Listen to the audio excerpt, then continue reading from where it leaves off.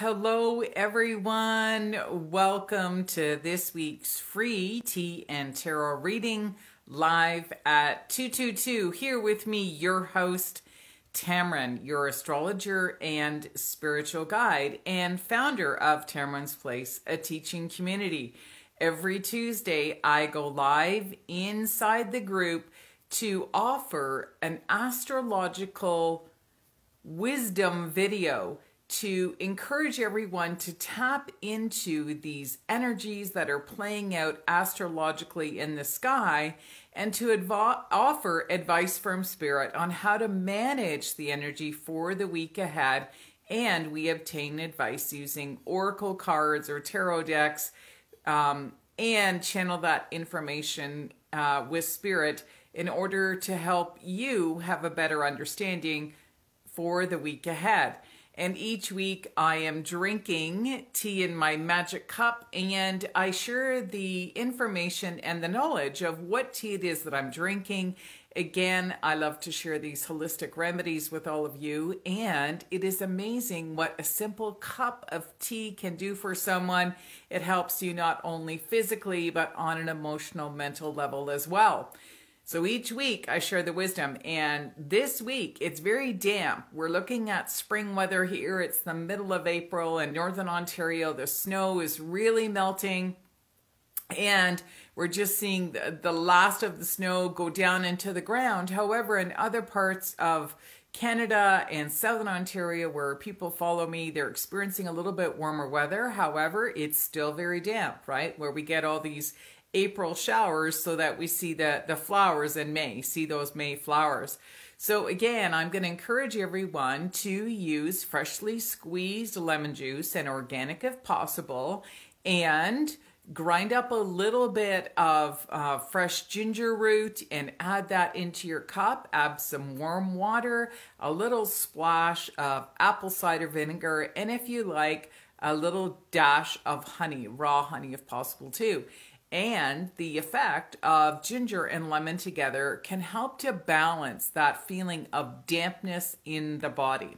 So it's the perfect little warm tea to drink during spring season. So I'm going to put that down and as I do, hold up this deck. So this week, the reading I'm using the cards is from an older deck by Doreen Virtue.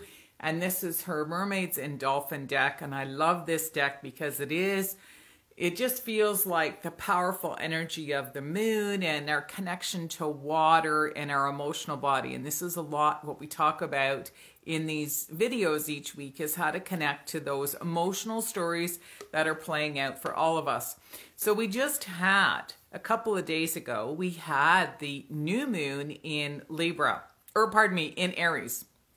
And what that represents is this this sense of fresh and new and wanting to move forward and letting go of some old stories.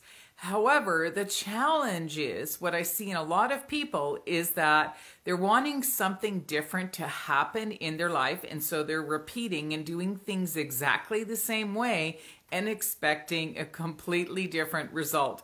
Now we all know what this means. It's it's the definition of insanity, right? Where you keep doing the same thing over and over and over and expecting to see something different.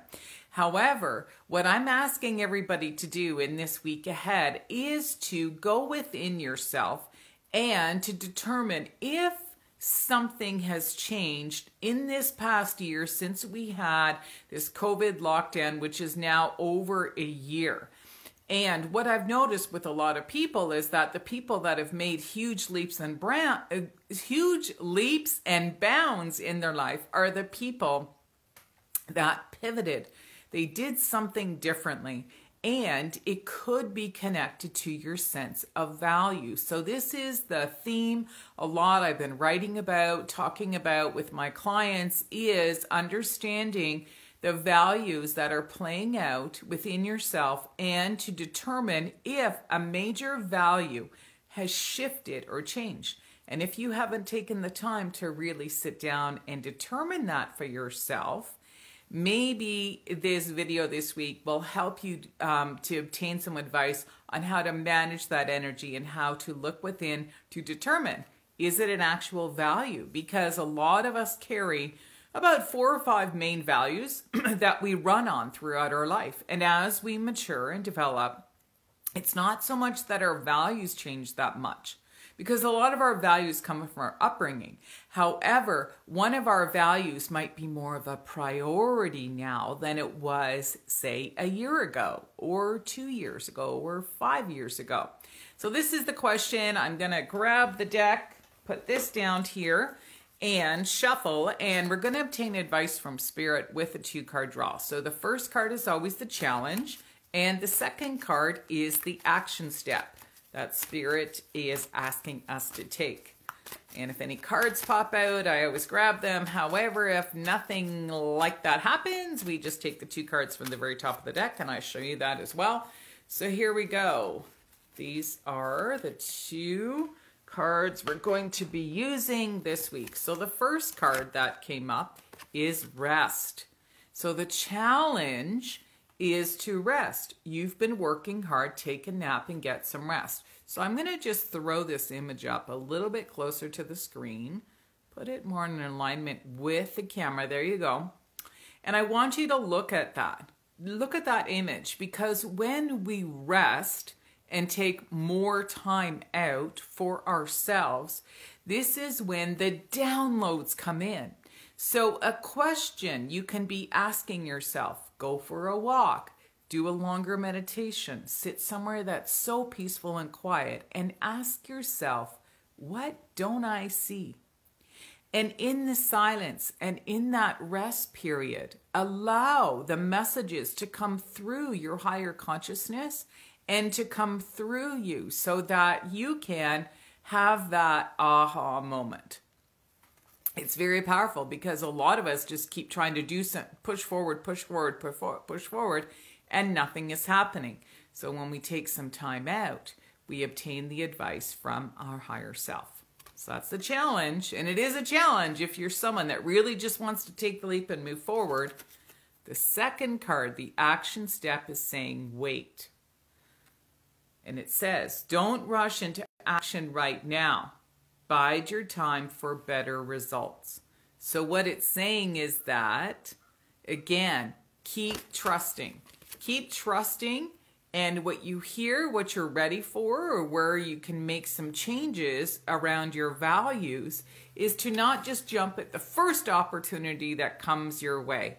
It's to actually stand up for what you believe in and believe in that value and don't undersell yourself. Because if your values are are coming to the forefront.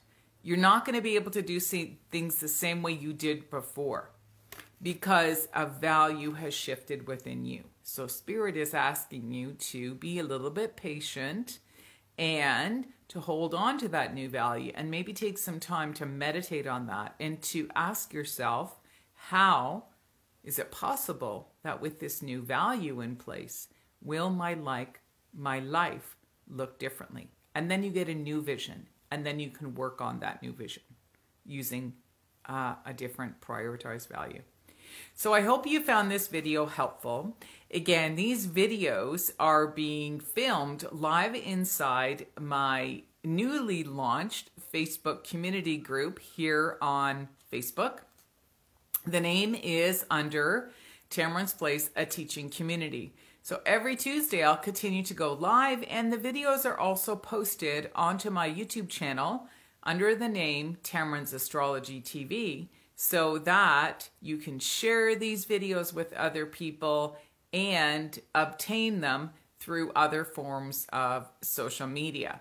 So I look forward to joining you here again next week and stay tuned because every week I'm going to be adding a different teaching aspect inside this group so that you can learn how to stay balanced through these challenging times using holistic remedies with more ease and grace. And I'll be continuing to teach you about the four different elements of astrology, holistic remedies, elemental wisdom, which is tapping into those four elements of water, air, earth, and fire, and a lot of storytelling. So I have something special planned for Friday nights regarding storytelling.